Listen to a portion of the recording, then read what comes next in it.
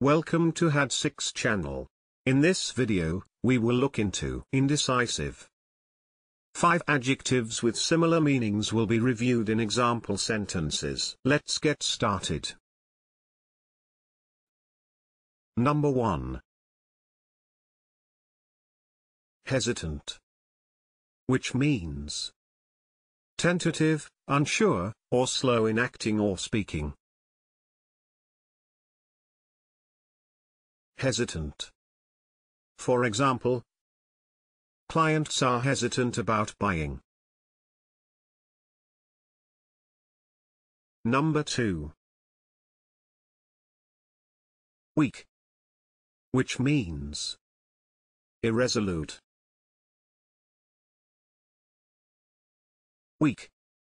For example, I was too weak to be a rebel.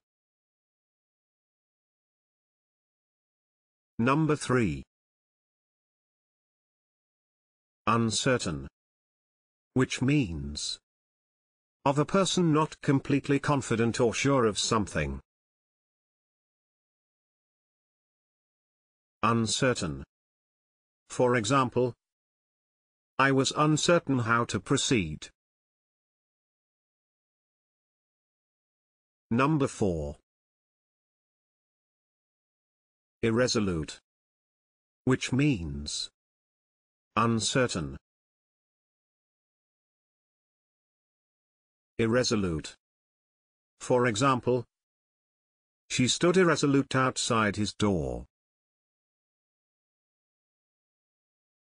Can you think of other examples? Please share them in the comment section below.